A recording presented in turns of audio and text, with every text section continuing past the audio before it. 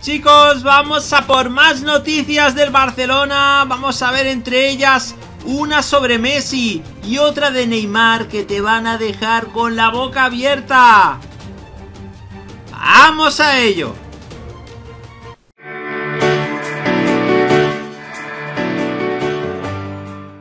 Hola de nuevo chicos, ¿cómo estáis? Bienvenidos de nuevo a otro vídeo para el canal. Vamos a analizar la última hora del Fútbol Club Barcelona. Vamos a ver varias noticias, por tanto te animamos a que te quedes hasta el final del vídeo, ya que nos dejes un buen like. Sin más dilación, vamos a analizar la primera noticia y vamos a ver la rueda de prensa tras el partido de ayer de Champions entre Ferenbaros y el Fútbol Club Barcelona y es que Kuman tocó varios aspectos del partido, comentó en palabras textuales, hicimos una gran primera parte con muy buen fútbol y tres goles, pudieron ser incluso más, pero la efectividad fue buena, hubo centros, muchos jugadores para los remates y presionemos bien a su defensa de 5. Controlamos perfectamente el partido. Sobre la actuación de Griezmann comentó, es un asunto de confianza. Griezmann siempre ha trabajado al máximo de mejorar su juego y efectividad. Ahora le entran los goles y está convencido porque tiene calidad. Ojalá que siga con esta racha. Sobre si están ahora donde quiere, comentó últimamente mejoremos cosas, sobre todo con balón. Tenemos más efectividad que tuvimos al inicio. Hay mucha competencia en ataque. No solo hay tres, hay muchos más. Tenemos que mejorar en defensa. Osasuna nos pudo hacer dos goles. Creo que vamos por el buen camino y hay que seguir. Sobre la actuación de Dembélé comentó, Osman es un gran jugador, tiene calidad, uno contra uno, rápido, es efectivo y maneja las dos piernas. Físicamente está muy bien, trabaja fuerte. Es complicado decidir en ataque cuando gente como Dembélé está jugando este nivel. Sobre el mal momento del Real Madrid comentó nuestro ánimo no debe depender ni de Madrid, ni de Sevilla, ni Atlético. Queremos mirar arriba. Estamos a 9 del Atlético. Tenemos que ganar todos los partidos hasta el final del año para seguir con opciones de ganar el campeonato. Lo que haga el Madrid no es nuestro problema. Sobre las rotaciones que hubo, comentó en la segunda parte nos aflojamos hubo más pérdidas de balón, nuestra efectividad fue menor. No quiero hablar sobre jugadores porque todos trabajaron muy bien. También habló Oscar Mingueza, el canterano, habló sobre la racha y sobre Ronald Koeman le dijo estoy bien, el equipo también. Quizás nos hemos relajado tras el gol, pero llevamos varios partidos buenos. Kuman me corrige como a todos los fallos que tiene cada uno por el bien del equipo. Son cosas que hay que mejorar y mejoraré sobre la moral y las victorias. Comenta, creo que ayuda. Hay que seguir trabajando con estos resultados que acompañan y hay que seguir para que puedan continuar. Martin Bradway también habló y comentó sobre el encuentro lo siguiente. Estoy feliz. Feliz por las victorias del equipo, la continuidad es importante para mí, estoy contento por los puntos que estamos logrando en los últimos partidos, los goles a veces vienen y a veces no, puedes conseguirlos, He jugado los cuatro últimos partidos y para mí es importante. Dembélé tenía ganas de tirar el penalti y ya lo ha tirado. Por tanto chicos, esto es a grandes rasgos lo que dijeron los protagonistas del partido al final. Y lo más destacado del partido chicos, la actuación de Griezmann y también la de Usman Dembélé. Y es que el Principito está de dulce. Este miércoles en la quinta jornada de la fase de grupos de la Champions League frente a Ferenbaros, el 7 del Barça volvió a ver portería y confirmó que este último mes está siendo el de su resurrección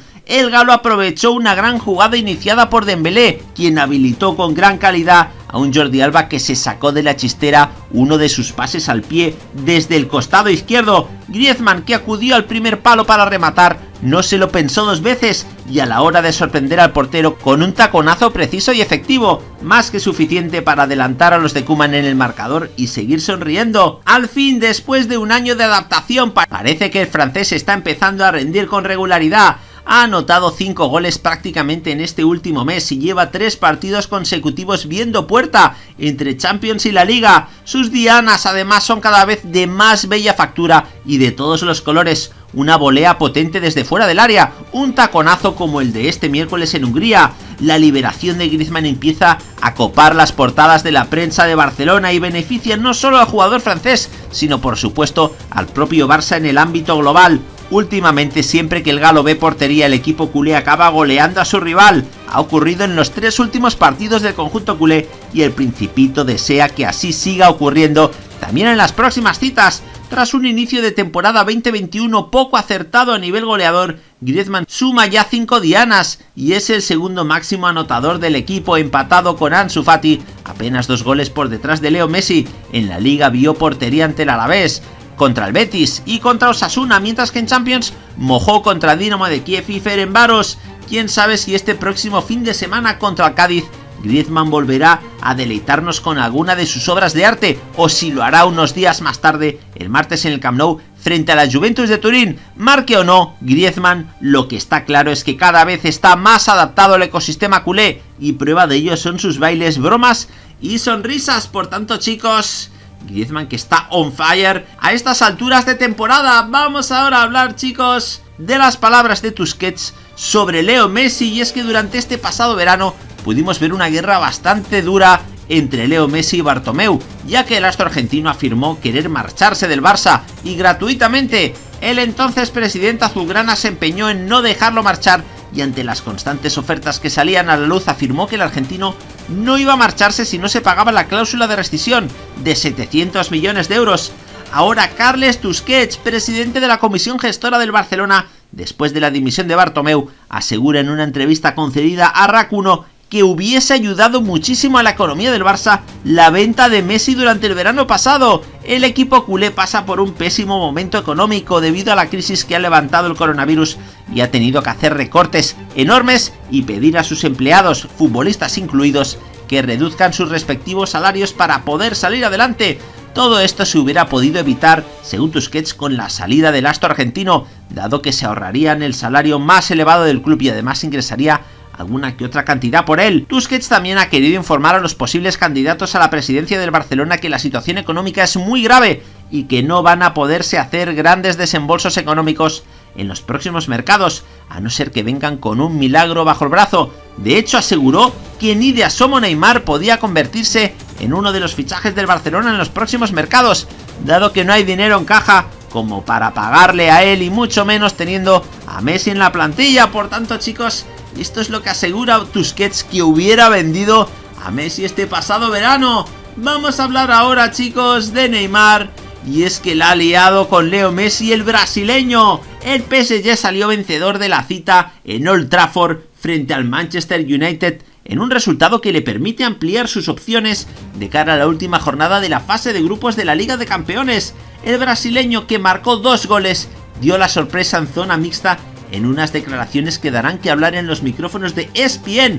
Comentó en palabras textuales Neymar, lo que más quiero es volver a jugar con Leo Messi. Unas palabras que pillaron a todos por sorpresa después del 1-3 del cuadro parisino ante el United, pero Neymar, con su sonrisa pícara, lo tiene muy claro y comentó, le dejo jugar en mi sitio si quiere, él no tiene problema, el año que viene tenemos que jugar juntos seguro, añadió la estrella del equipo galo que salvó su match ball en Old Trafford para mantenerse con opciones de colarse a octavos de final, con los rumores de su posible salida del PSG en el pasado y el reciente episodio de Messi y su casi marcha del Barcelona, el de la canareña dejó abierta la puerta en ambos sentidos. Hay que recordar que el 10 del Barça termina contrato en junio de 2021 y de momento no ha dejado pistas sobre si ampliará o no ese vínculo. En enero puede negociar con cualquier club la pregunta de todos ahora es inevitable. Si las palabras de Neymar van en serio, ¿dónde se reencontrarán? Parece difícil la vuelta del brasileño al Camp Nou por los problemas económicos, pero si el Paris Saint Germain se quiere lanzar a por Messi, también tendría que vender para cuadrar cuentas. Todavía más complicado se antoja una doble salida de ambos a un nuevo destino. Por tanto chicos, esto es lo que ha dicho Neymar, lo que más quiero es volver a jugar con Messi, os dejamos el enlace en la descripción del vídeo para que lo podáis ver aquí en Twitter. Nos gustaría saber vuestra opinión al respecto, en qué sentido pensáis que ha dicho esto Neymar, pensáis que quiere que Messi vaya al Paris Saint Germain, pensáis que él también quiere volver al Barcelona y es que en ese sentido no está nada claro lo que quiere decir Neymar. Como decimos, nos gustaría saber vuestra opinión al respecto y que por favor nos la dejéis en los comentarios, justo debajo de este vídeo. Nada más por el momento, como siempre animaros a dejar un buen like al vídeo, a suscribiros al canal si aún no lo habéis hecho y a darle a la campanita para recibir todas las notificaciones cuando subamos un nuevo vídeo. Os dejamos por aquí dos vídeos más para que estéis a la última de las noticias del fútbol. ¡Hasta la próxima!